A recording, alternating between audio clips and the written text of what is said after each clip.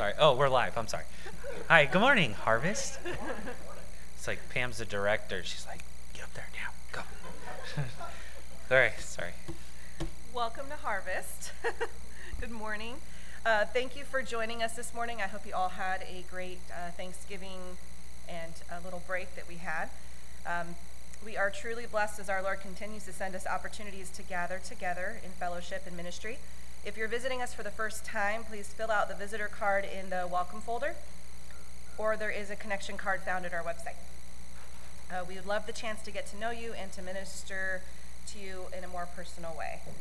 So this week, there are no meetings on Tuesday. Too bad it's not marriage refill week. What are you saying? I did his honeydew list. We're not going there. Um, Thursday is Word of Life, and uh, we have an adult teaching at 7. Uh, Friday, we have 10, Target 1010 at 7. And then Saturday, don't forget, it's men's breakfast. Hmm, Somebody tends to forget. a little.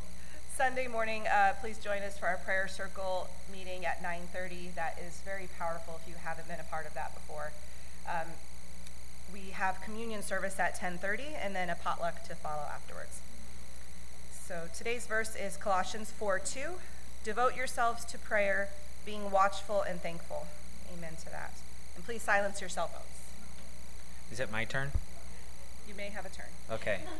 I'm getting used to this, Pastor. This is awesome. Anyways, okay, the important announcements. So important that they have their own page. So uh, let's go Should through that so real can quick. have the spotlight? Um, yeah, well, I got to read the first one first. So, uh, the the uh, Niantic Light Parade is December 11th this year. I'm excited. I'm uh, starting to get everything all situated. Um, if you would like to help with the float this year, um, please come see me. Uh, I think we're gonna do Friday night. We're planning on putting everything together. It's uh, a nice, wonderful time to um, celebrate and uh, you know bless over the uh, pray over the float and all that other fun stuff. But anyways, uh, we still need candy canes. We need a lot of candy canes. There's a lot of kids that love candy canes, and we just need candy canes.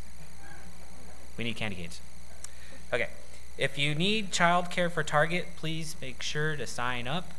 Um, if you are out shopping, and um, please consider picking up some paper towels, uh, toilet tissue, and Kleenex for church.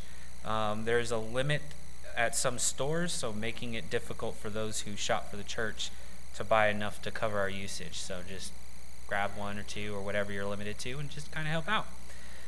Um, it's that time to get our church building ready for Christmas today.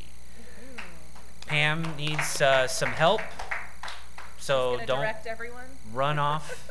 You guys, the doors are going to be locked. You're going to be stuck in here, so that you know she doesn't get. Oh, she didn't say that. I'm just forcing it. But she does need some men to help out, grabbing some heavy stuff. Uh, I'll help you out. I need a few things too, so um, they'll be perfect. We can help each other out, and you know, Pastor will be great. Sorry, I don't know why I'm so hyper today, but anyways. Uh, uh, just a reminder that the Christmas praise party is December 19th from 6 to 8:30 p.m. Uh, we will begin to fellowship slash social and then have a hour of praise and worship. For details, contact Cecilia or Heather. And today's quote: I would, I would maintain that thanks are the highest from form of thought, and that gratitude is happiness doubled by wonder.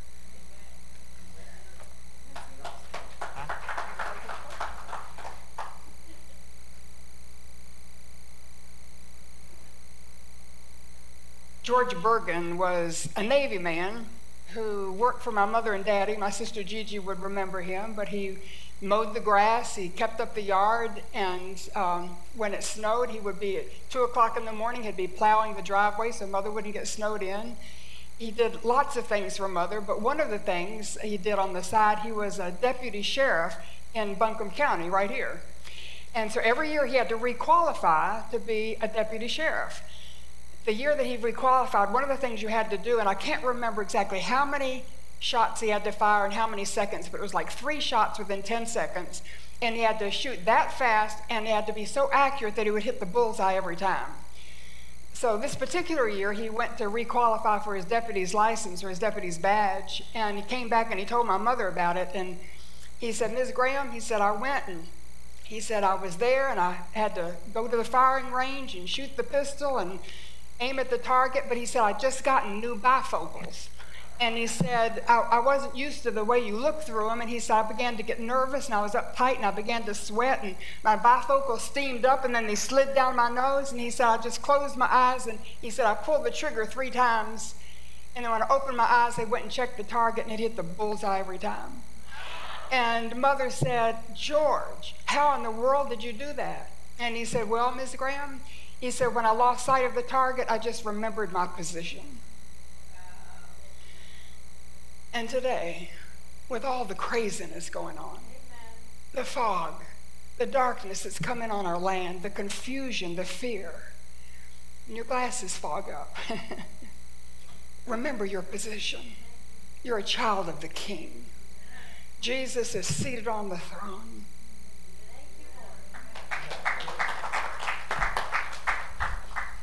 Morning, Harvest. What a good word, huh? You remember that uh, when things start to get even foggier uh, in your life, and sometimes it seems like you don't know where you're going. You're heading in the right direction, even if you can't see in front of you. Uh, keep walking in the direction of Jesus. I'm reminded of 2 mm. Timothy 1 7. God has not given us a spirit of fear, mm. but of love, power, and of a sound mm-hmm. mind. We have to keep that in mind That's when right. all the news stories mm-hmm. keep coming up, mm-hmm. all the fear, all the stuff we were talking this morning in our um, prayer circle. Mm-hmm. There's a difference between having a felt, healthy respect and taking care of ourselves and a spirit of fear. Mm-hmm. And you know when you've crossed over into that, that's not of the Lord. Mm-hmm. We're to mm-hmm. walk in freedom and power. so God's going to take care of us. Mm-hmm. Okay? Mm-hmm. God's uh, actually just reminding us who we are. Um, a lot of times uh, we are so busy and we're rubbing shoulders with so many people who don't walk with Jesus and know Jesus, we actually start to become like them. And we follow them or we uh, uh, make deeper connections with them than God would want us to. Not that we're better than they are, but we begin to lose sight of Jesus. And what you're finding is the world is saying basically in their fear, uh, it's one thing to be very careful, and you need to be. Uh, but in their fear, uh, they're saying, We don't know Jesus, we don't hold on to Jesus, uh, and we're afraid. And dog eat dog, we're going to take care of ourselves. And so you need to keep your eyes on Christ and remember who you are, no matter how foggy it gets, no matter how much the ground shakes, no, no matter how many financial things take place or COVIDs with their different names and the alphabet, uh, uh, you just hold on to Christ just a couple of things. I, I don't see any young ones right now, but if we have any people come in with young ones, we are going to need some help in the nursery today. Um, also, we have probably half our church out, not yes. feeling well today, or else gone on vacation. So, hello to everybody who's watching yes. us from home. Um, don't forget, you can still give your tithes and offerings online or mail them in here. The work of God's work continues to go on. Um, I think that's it. Mm-hmm. That's all I've got. Now, I may not, uh, not living in fear or anything like that, but I may not give some of you hugs or be hugging everybody. I'm actually having an operation uh, this week on Thursday. It's actually, um, uh, it's, I'm going to have Botox, I'm going to have a nose job, and then uh, facelift. So my eyes may be pulled back a little bit. I'm just joking, you guys. Let's stand and pray. God has a sense of humor, doesn't he? Father, we thank you for uh, this time of year. We thank you, God, that you have given us so much, and yet we have been thankful for so little. We have expected so much from you, and more than we could ever uh, imagine, you have poured it out on us. Lord, keep us from emptiness, keep us from uh, uh, unthankfulness, keep us, Father, from looking at things instead of looking into your face. We ask God that even this morning that you would separate us from the things that have attached themselves to us, Those things are not of you. We just renounce in the name of Jesus. Most importantly, a sinful attitude, an attitude of selfishness and self centeredness.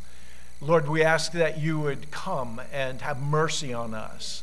And Father, we come into your presence broken, knowing that we are nothing and you are everything. We ask that you'd rearrange all of our thoughts and our affections in your direction.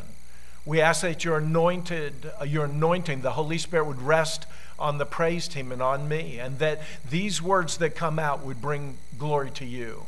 Father, I pray for churches around the country and around the world, and I'm asking, Father, that you'd raise up leaders to preach and teach and to worship, worship leaders as well. And Father, that this nation would turn back to you. I pray people would get tired of, uh, um, being afraid and running away, and they'd run towards you. Lord, especially me, keep me running towards you. Break me when I resist. Break me when I am unbroken and when I look for other things other than you. Holy Spirit, please come and give us that drink that, of the Father that we need. Help us to worship this morning. In Jesus' name I pray. Amen. Let's give the Lord a hand.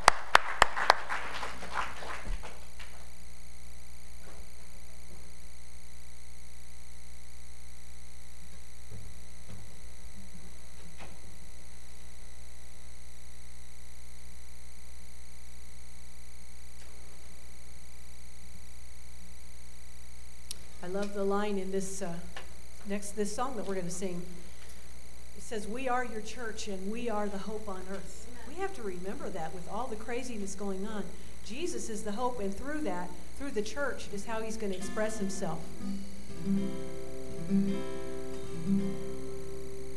Come, set your rule and reign in our hearts again. Increase in us, we pray. Unveil why we're made. Come set our hearts ablaze with hope, like wildfire in our very souls. Holy Spirit, come invade us now.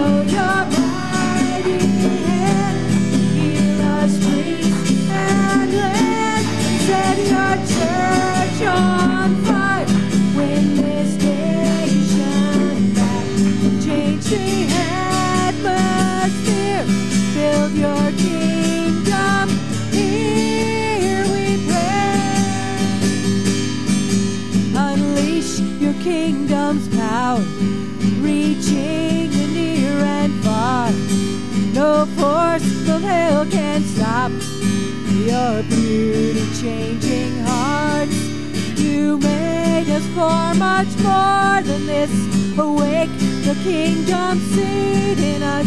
Fill us with the strength and love of Christ. We are your church. We are the hope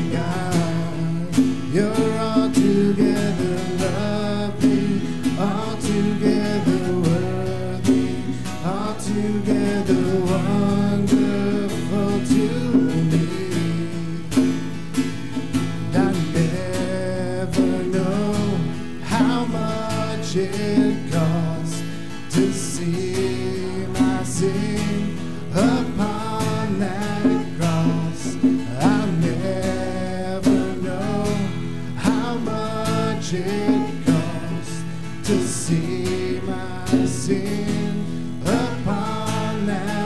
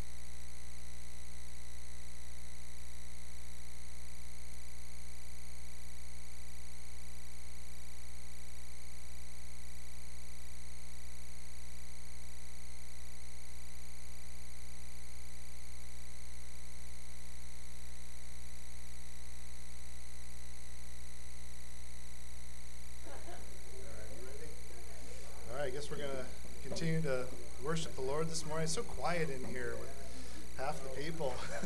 it's kind of nice. I'm just kidding. All right, your grace is enough, Lord.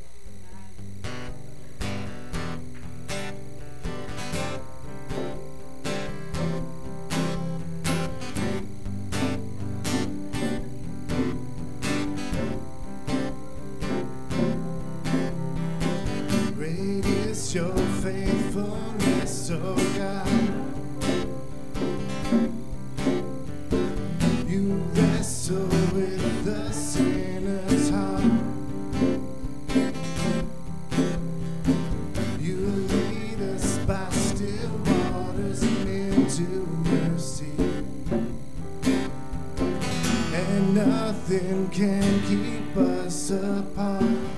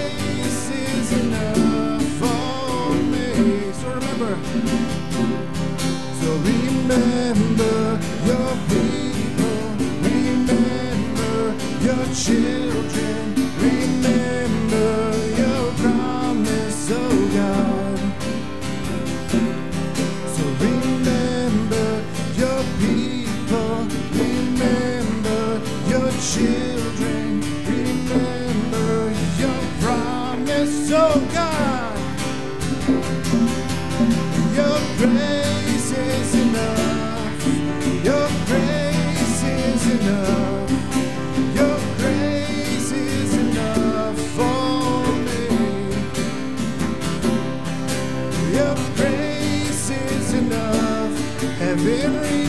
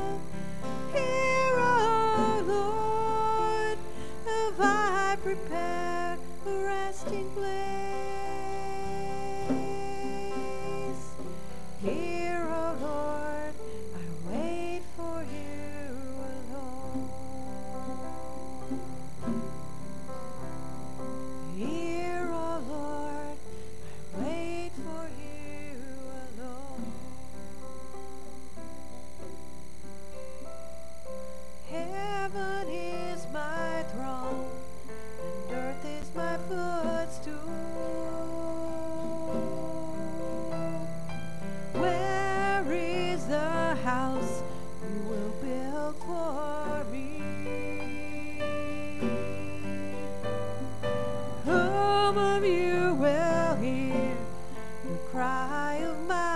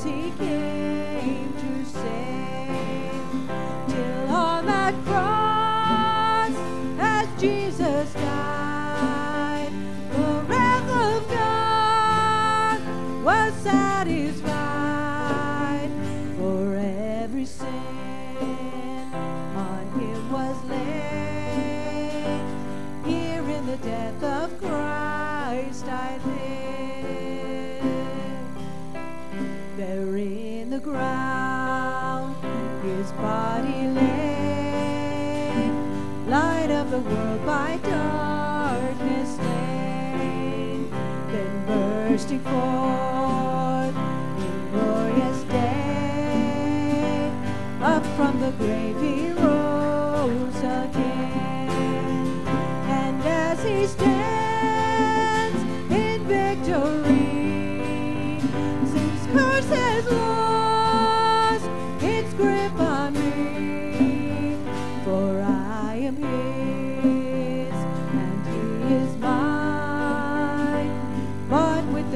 precious blood of Christ.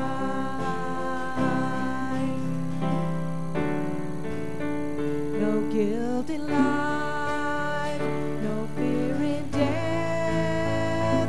This is the power of Christ in me. From life's first cry.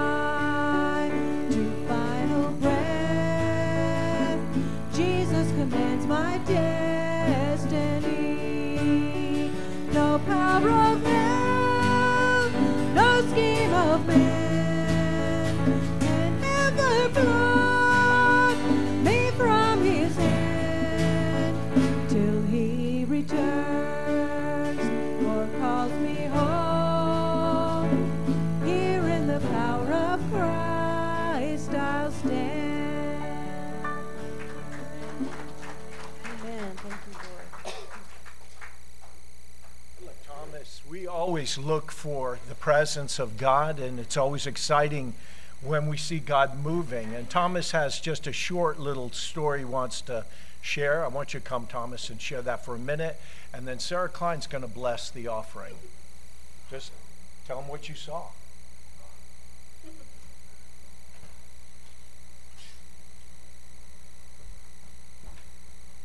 now I'm not so hyper.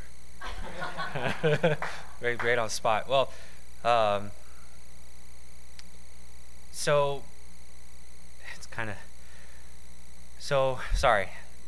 So last night uh, it was kind of crazy for us and our family. We had some friends over, and uh, you know, kids are playing video games, and um, the night's ending, and me and Michelle are going to sleep and kids are going to sleep and Josh comes in and he goes, you know, he's having trouble going to going to sleep.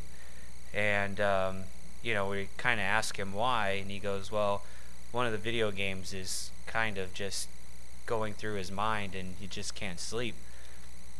So uh, we're like, "Okay." We had a a quick second just to talk to him a little bit about what he saw and you know, decided that we would pray for him. He came in and we wanted, you know, he wanted prayer. So he kind of just, in an awkward position, just laid, you know, right on top of me and just bowed his head and we just, uh, just prayed for a couple of minutes. And uh, the amazing part was the peace that Christ gave us.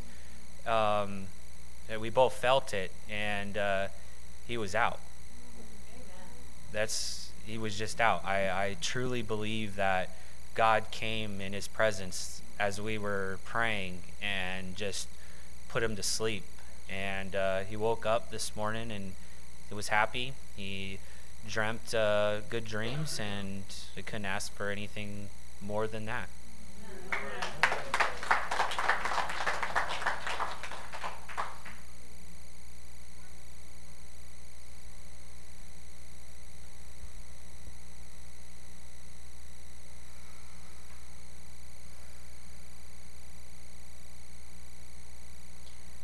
Jesus, you are our Prince of Peace. And Lord God, in the midst of this season that has become so busy, we ask that you would just cover us with your peace, Lord God, that you would indwell us with your peace, that we would walk in your peace in the midst of everything else that screams at us that it needs to be done, that we would be focused on you. And yes, the incarnation of the Prince of Peace is worth celebrating, it is worth observing, but not at the price of our peace. And so, Lord God, we ask that you would just come. Father God, we thank you that we have the opportunity to give back to you just a portion of what you have given to us. Lord God, you ask for enough so that we can prove to ourselves that we're trusting you. And then you take what remains and you bless it so that we have exceedingly abundantly, not just money, but Lord God, you give us all other things. You bless our hearts, you bless our lives. And we thank you, Jesus. Who else but you could take what we have and multiply it so that we have so much? Who else could take our hearts and cause us to be thankful for what we have? And so we rejoice. Lord God, we, we come to you with our offerings. We come to you with our gifts of love. We ask that you would receive these offerings from our hands, Lord God. Take them, multiply them, let it become everything you want it to be so that this church can do what it's doing and also to reach out and bless those around us, Lord God. We ask that you would bless the hands and the hearts that give. We ask in your name, Jesus. Amen.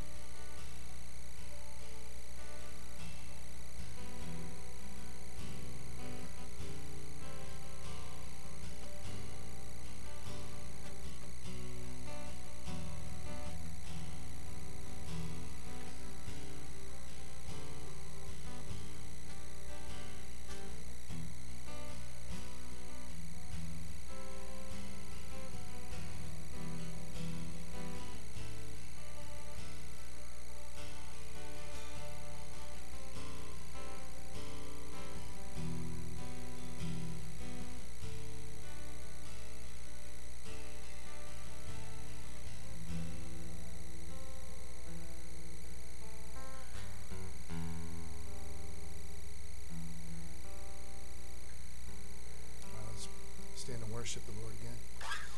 We're going to ask the Lord to come power here. I certainly need help up here. I'm losing my voice.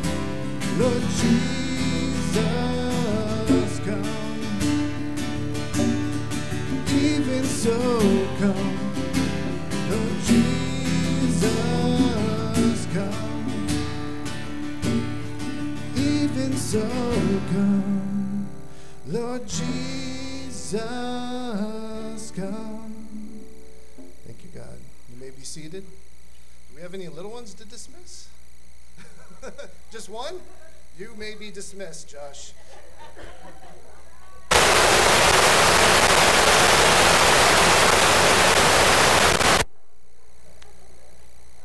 Good job. That was Mark Perez. Everybody point to Mark. Now, they do a good job up there. Appreciate them. So, we're dismissing the young people. Uh, we don't have a whole lot of them, but we want to dismiss them and we want to pray. I hope all of you had a great Thanksgiving. I, I did. We just had a good family time and thankful for what God has blessed us with. Let's pray and ask God to, to come and speak through me. I, I, want, uh, I want the presence of the Lord. I, I don't want to get in the way. So, Father, thank you for worship and thank you for this time. I see it, Lord, as a, a troubling time in our nation, a troubling time with families, and I see families, Father, being rocked. A nation is being rocked, the world is being rocked. You're not asleep, you're not absent. You, you have not looked away. You know what you're doing, you're in charge. We lean upon you and trust you. We know no matter what shakes, no matter what begins to crumble and break, you're our rock, and we stand on you. So, Lord, I ask you with all the notes and all the thoughts and all the prayer, praying and time in this, I ask you to speak through me and give us a word. Teach us and, and, and draw us into your presence. Pray for all those at home and ask God that your presence, the Holy Spirit, would be in the, in the living rooms and the kitchens and the bedrooms and would fill that place, that you would be glorified. And we ask you to bind Satan by the blood of Jesus and release us. Release us to worship you, to give to you, to serve you and honor you. Remind us our days are numbered. Remind us the sun does go down. Rises again in your land, in your kingdom. And we thank you for this. In Jesus' name I pray. Amen. We're in the book of Judges, and we, as we look in the book of Judges, we see that uh, it is a time up to the sixth chapter, and even beyond that, that those people were struggling much like our nation. It's called Judges because it's not called Kings. They had judges, they did not have kings. Everybody at that time did what was right in their own eyes, just like America today. They had no leadership, they didn't know where they, was go- they were going. God wanted to lead them, but they didn't want God to lead them. Joshua had passed away, and the people that were supposed to conquer other nations, the nations around them that were wicked and worship false gods, uh, evil gods, uh, they didn't conquer them.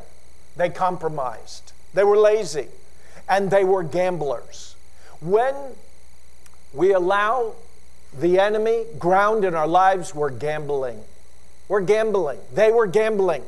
They would uh, gamble their freedom away until they were sold into slavery, until God said, okay, another nation's coming and going to uh, uh, take you over.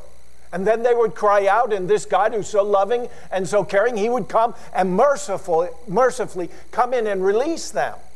And they would worship God for a while, and then they'd go to gambling again. And then they'd be taken into slavery. And so we find that in Judges chapter 6, that's exactly what's taking place. They're at a time where they have no leaders, there are no judges even rising up to deliver them. All the surrounding nations are coming in, and when they would plant food, just when they're about to harvest the food, those nations would come in and just sit there and eat all the food and take it all away and then destroy the land and then leave. And the Israelites, they would hide in caves and in uh, holes in the ground, and they would, uh, uh, in fear, just tried to stay away from these nations. And they were continually uh, being molested by these nations. It's a sad story. I saw a woman one time uh, in a store. She had won $2,000 in a lottery ticket. As soon as she did, she turned around and said, Anybody want to go to the casino? And she was serious. And so we find that we live in a world of gambling. And I'm not preaching on gambling, I'm preaching on gambling.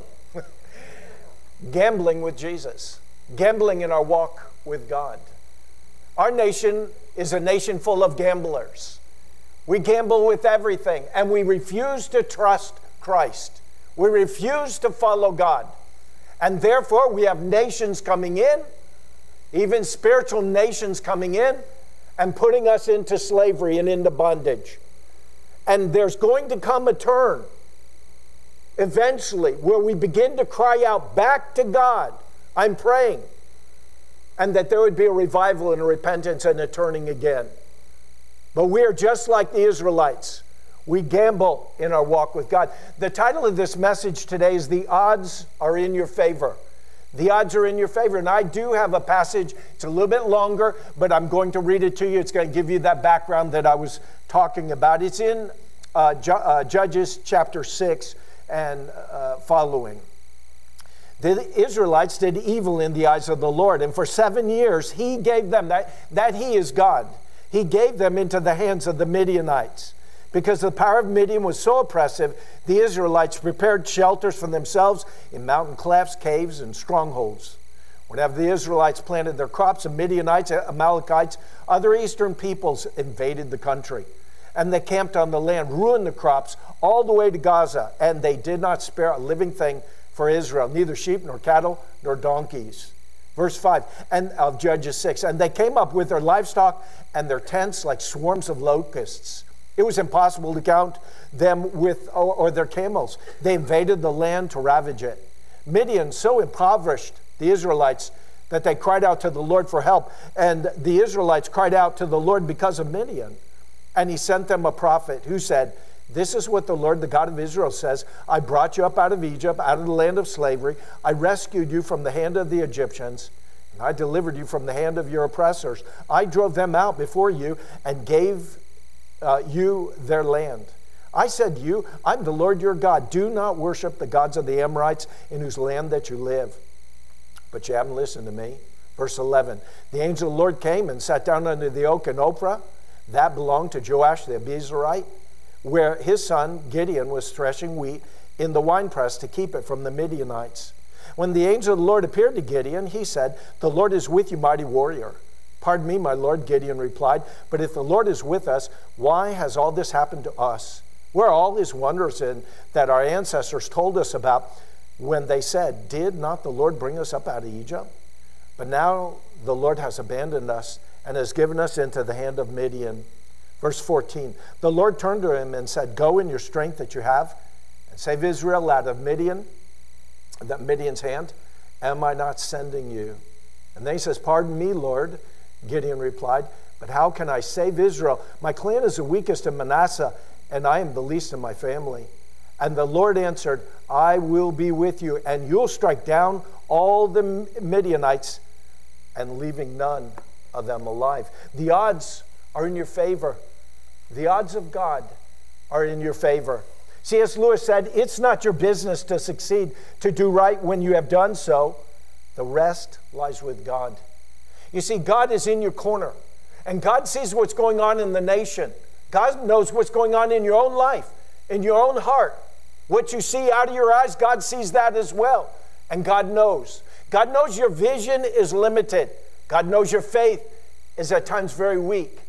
And God is in your favor, He's in your corner. But some of you are asking, how can the odds be against me if I've got God? And that's really where the rubber hits the road. We don't always understand that God isn't always on our side because our side is not always on God's side. And so we again ask ourselves, what does odds mean? What is, what is that definition of that word? It's the probability of how likely a thing will happen or won't happen. And probability is in your hands.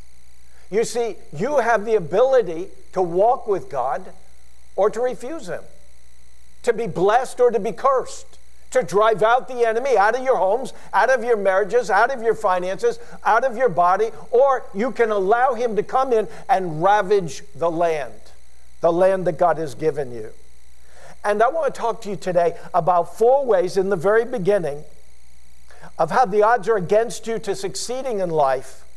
And then I want to talk to you about four ways, or a couple ways, that the odds are for you to succeeding in life. And the one the odds are against you of succeeding in life when you get involved in what is what God says is evil. Look at Judges chapter 6 verse 1. And they did evil in the eyes of the Lord. You see, the odds are against you of succeeding in your walk, in your life, and we need to be told that. You'd think we wouldn't, but we do. When we go against what God says is evil and we say, no, it's good, we're heading to failure. Leonardo da Vinci said, He who does not punish evil commands it to be done. You didn't know he said that, did you? He who does not punish evil commands it to be done. Kierkegaard, Kierkegaard, a philosopher, said, You cannot choose not to choose because you've already made your choice. You see? And so we find that we fail to succeed as believers and followers of Christ when we begin an argument with God and we say what He says is evil, we say it's good. And we begin to walk in that and play in that. And then, as you look at verse 1, it says, For seven years he gave them into the hand of the Midianites. You never heard of a God like that, did you? A God who doesn't play around, a God who doesn't fool around. God will give us over, and God has given this nation over. But we find that there are many things that God sees, and we think he overlooks. As a matter of fact, Second Chronicles 69 says, The eyes of the Lord search the whole earth in order to strengthen. I think the, the rest of the verse goes, and those whose hearts are with them or those who are with him. But God sees. In Revelation 19 12, the, uh, John describes Jesus' eyes as a blazing fire. God sees. I think I forget that in my own walk with God. I think God overlooks things. I think God doesn't see certain things. I had a dog that was part corgi and part beagle. And when he would get out of the fence and you'd catch him, his name was Joe. And, and Joe would get out of the fence. I've told this story one other time. And he would start to come out. He would glance at you and then he'd look away. And, and, and Joe, you'd say, Joe, go back, go, go back in the yard. Go, Joe, Go back. He wouldn't look at you. He looks away. And he's, he's thinking, because I don't see you, you don't see me. And I'm yelling at Joe, Joe, I know you see me. Get back in the yard. You don't belong there, Joe. And I'd watch that dog, Joe. I'd be yelling at Joe. I don't know how he got. You ever see a dog with kind of a, a skip where they're like sideways? I don't know what that means. That means something in dog language. It's kind of like, you know, fly the coop or something. But he'd be skipping down the road sideways, probably laughing at me under his breath. But we think that God, because we think that God doesn't see things, and He does. And then we find that a lot of times what's evil in God's eyes, are not, are not really evil in our, our eyes, is not evil in our eyes. You see, we rationalize things and, and God doesn't. We're wishy washy and God isn't. And we see, He sees black and white, and we see gray. And I began to think about that. Why do I see gray when God is black and white? He's very clear. He's very clear. He doesn't, he doesn't whisper. He doesn't like, you know, talk in language I don't understand. He's really clear with me. And he's clear with us. And, and so I ask myself, why do I see things in gray? Why do I want them in gray? For one thing, God told me, He said, you, you always choose comfort. The gray areas are comfortable for you. You don't, you don't like to disrupt anything. The gray areas are conforming. You don't like to go against the tide. You don't want to upset anybody. The gray areas are non convicting. Can't we just kind of let it go a little bit? And the gray areas uh, are compromising. You see, I don't like anyone upset. Let's just let it go. And God sees things in black and white because it's dangerous in the gray areas. And America moved from the black and white and then rebelled against the black and white of what the scripture said, how clear it is, and then begin to move in gray areas. And as they begin, began to fudge, as we began to fudge, we finally find ourselves not in the gray area anymore, but being ravaged by the enemies of God. Compromise is a very dangerous thing. And you can find yourself going for a long time walking with God, and then you begin to fudge. There's a story that many of you know about. It's Homer's Iliad, and it's one of the oldest documents ever written in Western literature.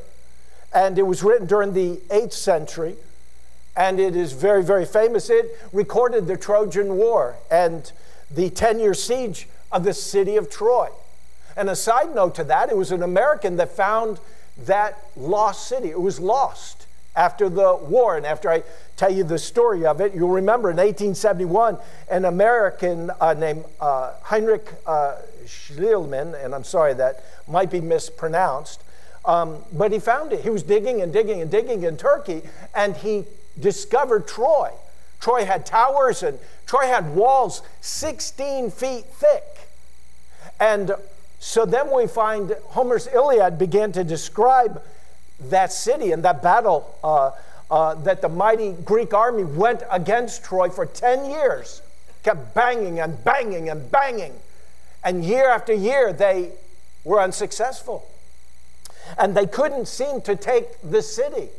As a matter of fact, they lost one of their famous warriors. I think it was Achilles. And they wanted to give up. They were unsuccessful for 10 years. And they were just about ready to give up. And then King uh, Odysseus, I probably mispronounce him, he had a plan uh, for the city and how to take it. After 10 years, he decided to make a horse, and you know this story. He made a wooden, large wooden horse, hollow inside, and he filled that horse full of Greek soldiers. And then they pushed that wooden horse filled with Greek soldiers, mighty warriors, and they left it there.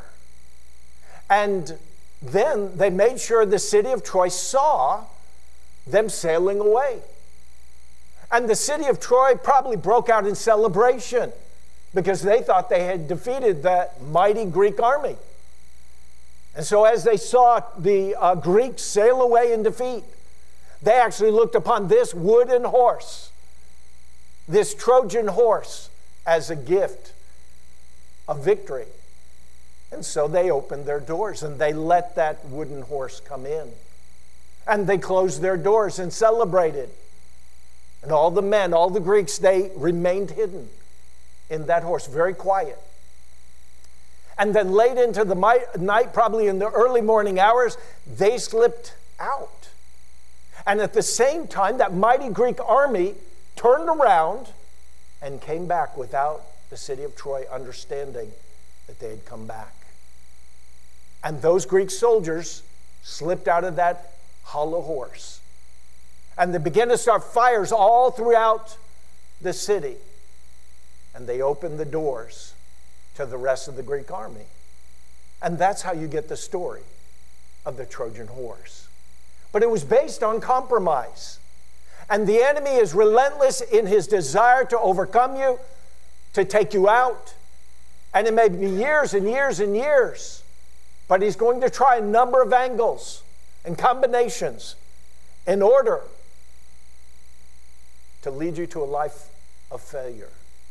But with God, you'll always be successful. The second thing we find about uh, the success uh, uh, that uh, you, the odds being against you and uh, being successful, is that this happens when we take for granted how much God has blessed us. When you take for granted how much God has blessed you, look with me very quickly, verses 8 and 9. And he sent them a prophet who said, This is what the Lord, the God of Israel, says I brought you up out of Egypt, out of the land of slavery. I rescued you from the hand of the Egyptians. I delivered you from the hand of all your oppressors. I drove them out before you and gave you their land. Four times God says, I blessed you, I blessed you, I blessed you, I blessed you. And the, the odds are against you ever really being successful in your walk with God when you compromise and you begin to forget the blessings that God has given you. And He has given you His Son. Your blessings are not in what you have received. Your blessings are in the fact that God has given you your son. If you were to look at all those eyes, I did this, I did this, I did this. It was those aren't the blessings. The blessings were the release was so they could be attached to the Father. They could have a relationship with Him. And your blessings are not your blessings. Your blessing will always be Jesus. Amen? Always be Jesus. And the blessings that you receive materially or, or in whatever fashion they come, it's always to open the door to Jesus. And then we find forth, we find the odds are against you in being successful. When you refuse to listen to the one who loves you more than anything. You see, you have moved really off the charts when you have stopped listening to someone who's speaking into your life, and they're only speaking into your life because they love you.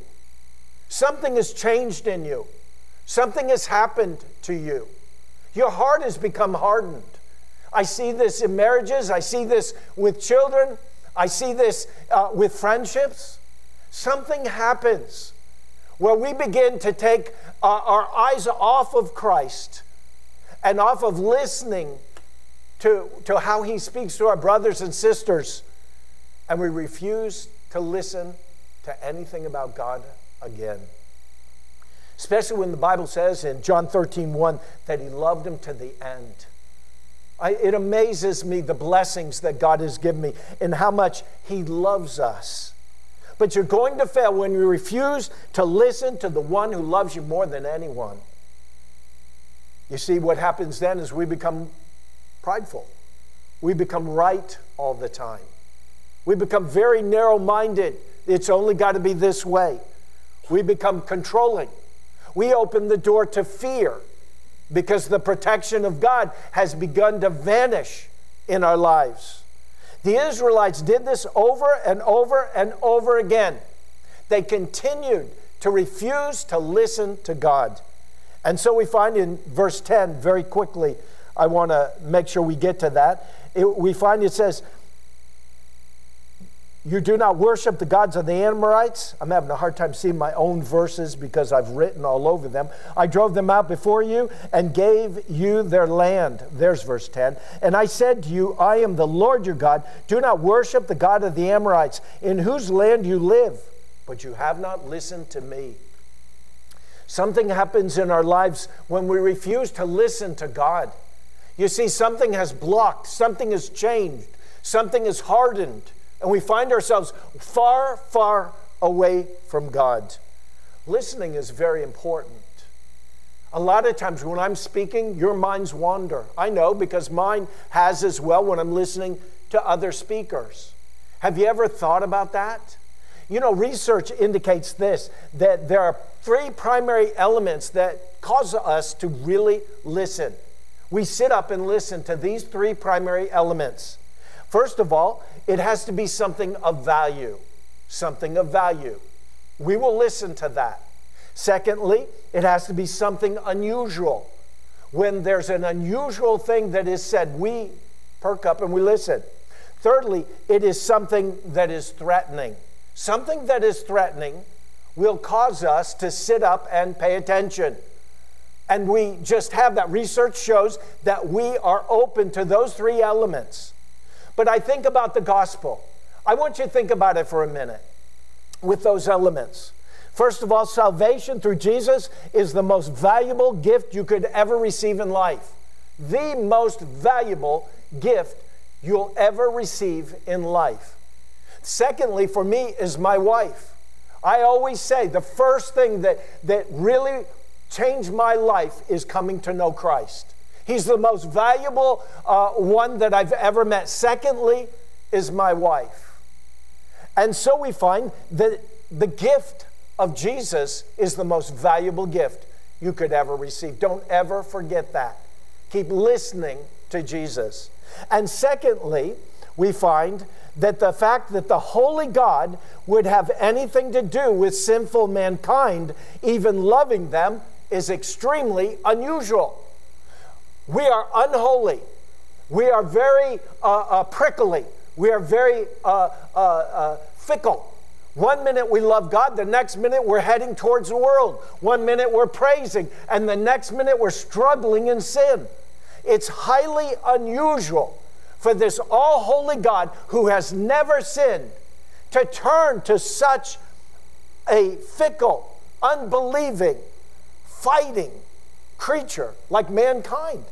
That's highly unusual. It is the most unusual thing that you will ever hear. And thirdly, very quickly, is the fact that the consequences of reaching Christ, rejecting Christ's sacrifice on the cross are very threatening.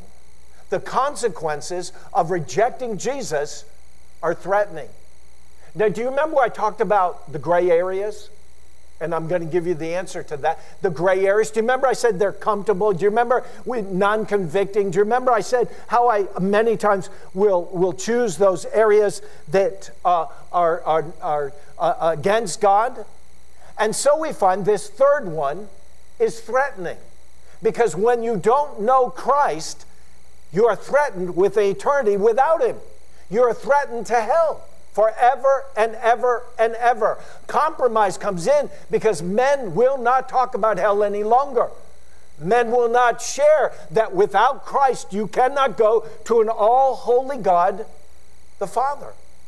That Jesus died on the cross to pay for your sins. So, enough of those areas where you're missing a successful walk with God. Let me talk to you very quickly about the odds of success are on your side when you follow these guidelines. First of all, we see it in the life of Gideon, when you agree with God's choices, his selections. Look with me in, in Judges chapter 6, verses 11 and 12. And the angel of the Lord came and sat down under the oak in Ophrah that belonged to Joash the Abiezrite, where his son Gideon was threshing wheat in a winepress to keep it from the Midianites. And so we look at verse 12. When the angel of the Lord appeared to Gideon, he said, The Lord is with you, mighty warrior. You see, life is a lot easier when you agree with God, what God selects in your life. You're not made to fight God. You're not, you're not strong enough to fight God. And whether Gideon liked it or not, God was singling him out. God was calling him in his generation when everybody would run to holes in the ground and run into caves, and everybody would drop their food and run away and refuse to stand up and fight. God was calling Gideon. You see, God's choice, his selection for these years of COVID, for these years of violence and, and uh, uh, anarchy that are hitting the country and these years of persecution for Christians and Jews that are coming. God's selection is for you and for me to stand up and share Christ. And Gideon didn't like that. Gideon wasn't comfortable with that. And you may not be either. But God has called us. He's called you to carry the cross. He's called you not to be ashamed of the name of Jesus. He's called you to pray in public, to share with people about a living God, a living God who loves you and died on the cross. And can I give you some advice? I've given you this before, and this comes from God, and it's advice for me. First of all, don't argue with him like Moses did. Don't argue with God. Exodus 4:10. O Lord God, I have never been eloquent, neither in the past, nor since you have spoken to your servant. Do you think God didn't know that? God was calling Moses to speak. And Moses was arguing with God. Don't argue with God on any level. You'll never win. God is not on your level. God's on his own level. There's no other level higher than God. Don't argue with him. When he asks you to do something, he knows the cost. He knows that He'll be with you and you can do it. And then, secondly, the second bit of advice is don't run from Him like Jonah, who took a ship to Tarshish, did. The Bible says in Jonah 1 3, Jonah arose and fled to Tarshish. And he thought he could outrun God. You cannot outrun God, God is everywhere. And God simply smiles when you run away. Now, this holiday season, don't run from God. Don't run in any direction towards any addiction. Don't run from God. And then, thirdly, third set of advice is don't laugh at him like Sarah did. God had made a promise, and the Bible says in Genesis 18 12, so Sarah laughed to herself. You see, God isn't joking when he has his hand on your life. God isn't joking now as you're seeing one COVID after another COVID after another COVID. God is not joking when you've got a lot of rebellious people, evil, wicked people in your government that thinks they can stick their finger in God's eyes. God's not joking any longer. The Midianites will come in different forms, and, and the judgment will come and be upon this nation as it has. What should you do? Whether you understand God or not, agree with Him. Just agree. You're just a child.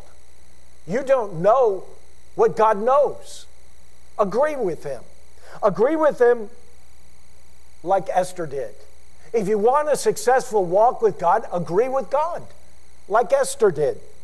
In Esther 4 14, Esther didn't know what was going on, but the Israelites were about to be destroyed, all of them.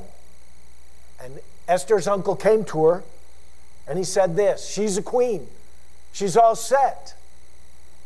But, but her uncle came to him and said this that you were created for such a time as, don't forget that. You're created for this time. You're not created to hide in caves and to run away. You were created for such a time as this. If not, he'll take you out. He'll take you out of here. Her answer was that of self abandonment. You want to know how to be successful in this life? Abandon yourself. What you're living in is a world that will not abandon itself. It will abandon God first and preserve itself, exalt itself, glorify itself but it'll abandon God. She abandoned herself. And she said this in Esther 4 15 and 16. She said, If I perish, I perish. I have a poem that's pretty neat I need to read to you, and it's very small print in my notes. So listen to this with your heart. It's by Carol Wimmer. When I say I'm a Christian, I'm not shouting I've been saved. I'm whispering I get lost. That's why I chose this way. When I say I'm a Christian, I don't speak with human pride.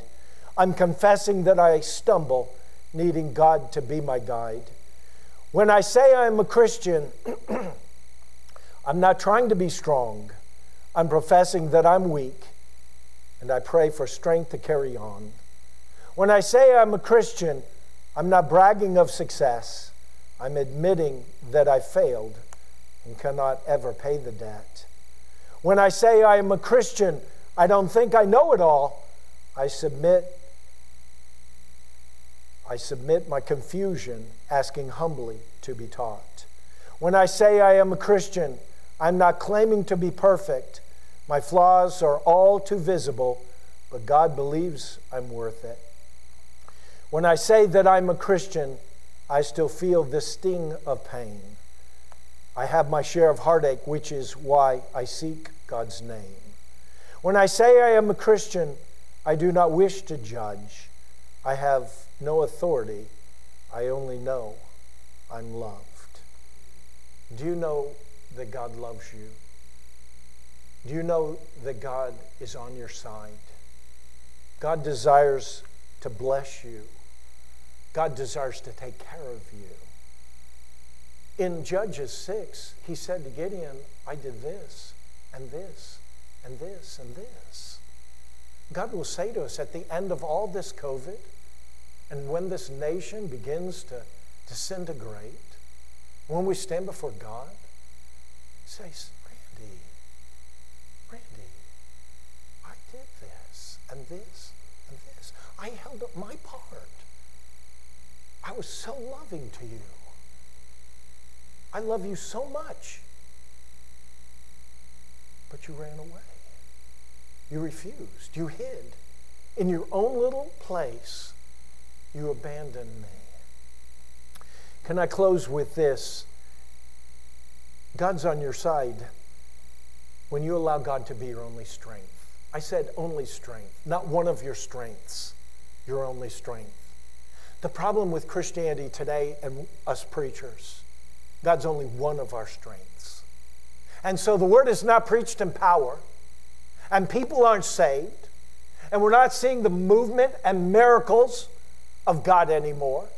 And the Holy Spirit doesn't overcome the church because He's only part of our lives. And we fail God because we abandon most of Him only to recognize part of Him. Now, the Bible says for us in Psalm 84 7, they go from strength to strength. Do you understand that the DNA in you, the spiritual DNA in you, is from one strength and maybe a trial, but to the next strength in Christ? You're not destined for defeat. You're not destined to hide. You're not destined to run away. You're destined for success in the strength of Jesus Christ. I can do all things through the strength of the one who lives within me, and that's Christ. Christ in you.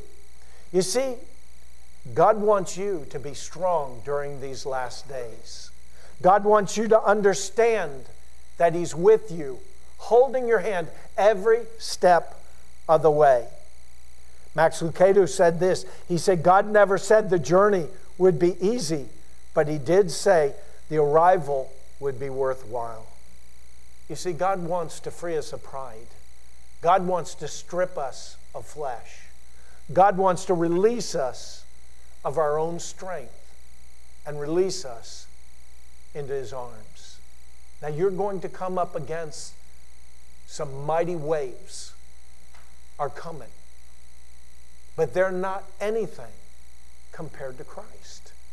And so, as we attach ourselves to Christ, we begin to understand that it's really us and Christ. It's us and God. That He has called us in this generation.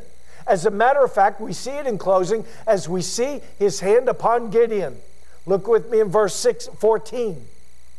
And the Lord turned to him and said, Go in the strength you have and, and save Israel out of Midian's hand. And then notice verse 14, the second half.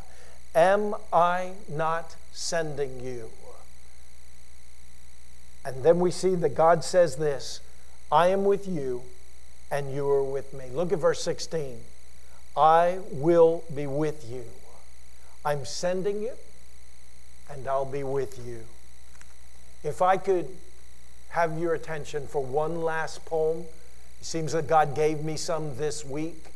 And it's in the book of Chuck Swindoll's uh, Strengthening Your Grip. And it, I, these really spoke to me, and this is how God spoke to me this week. And so I'll close on this. I had walked in life's path and easy tread. I had followed where comfort and pleasure led. And then by chance in a quiet place, I met my master face to face. With station and rank and wealth for goal, goal, much thought for body, none for soul. I had entered to win this life, life's mad race. And when I met my master face to face, I built my castles and reared them high till their towers had pierced the blue of sky. I had sworn to rule with an iron mace when I met my master face to face. I met him and knew him and blushed to see that his eyes full of sorrow were fixed on me. And I faltered and fell at his feet that day, while my castle vanished and melted away. Melted and vanished, and in their place I saw naught else but my master's face. And I cried aloud, Oh, make me meet to follow the marks of thy wounded feet. My thought is now for the souls of men. I have lost my life to find it again. Ever since alone in that holy place, my master and I stood face to face. You're standing in the presence of God in the midst of COVID, in the midst of the disintegration of the United States, political upheaval and treachery, socialism, fascism, Marxism, you're standing still in the presence of God. And you, you keep your eyes on the Master's face. Let's pray. Father, we thank you that you are so encouraging. We thank you that you and you alone are the only one that is holding us up. We thank you that although the wind and the waves are beating at our feet, our eyes are fully fixed upon you. Lord, we thank you that you give us confidence to go on, and that because you have called us, we know the path has been cleared. We know the glory is yours. We know the victory has already been won. But Lord, there are some that are struggling. Some of us are wavering. Some of us are weak. We ask you to reach down into our hearts. We ask you to train our minds and our thoughts to be fixed on you. My prayer, even now, is for someone who doesn't know you. They know of religion, they know of a church, they know of getting a Bible, maybe for memorizing some scripture, but they don't know you. And they're afraid. And they're wavering and struggling.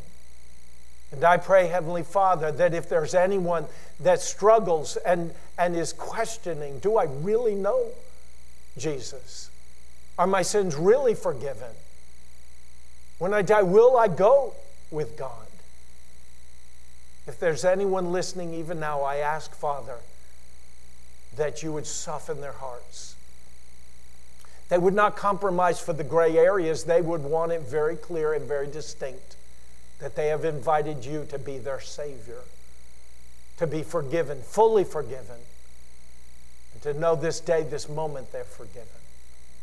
I ask, Holy Spirit, you rest on them right now through Boxcast or through years later of watching this message, that they would bow their heads and receive you as their Savior. So, Lord, rest on them now as I lead them in prayer. Would you pray with me if you don't know Christ as your Savior? There's a question, there's a doubt in your mind. There's been gray area between you and God, but you want it very distinct now. You want to know this date, this day, this hour, this moment, you receive Christ as your Savior. I believe in my heart, in my mind's eye, I can see people praying this prayer and really meaning it. Would you pray this in your heart? Oh, Jesus. You don't have to pray exactly like I pray, but you pray with your heart. That's what all of heaven hears. That's what starts the recording of your name in what Revelation 21, I believe, talks about the book of life. Your name is being written as you call out to God. Oh God, I know that I am a sinner. I know that I have committed sin and I cannot pay for sin. I can ignore it, I can compromise with it, I can, I can act as though it didn't happen, I can justify it, but I could never be clean of it. Only you, God, can cleanse me of my sin. And so I come before you with a need. It's a big need, God. I need to be forgiven of my sins. Would you forgive me, Jesus? When you died on the cross, you took everyone's sin upon you. Your sinless blood washed everyone's sin who receives you away. I want that washing. I want to be forgiven. I want to know that when I die, I will go to be with you in heaven forever and ever. Would you be my Savior, Jesus? I can't save myself. Come into my heart and save me, Jesus. Forgive me of all my sins the big ones, the small ones, the ones I don't even know of. And when I die, when I close my eyes, when I breathe my last breath, when I say my last word, word,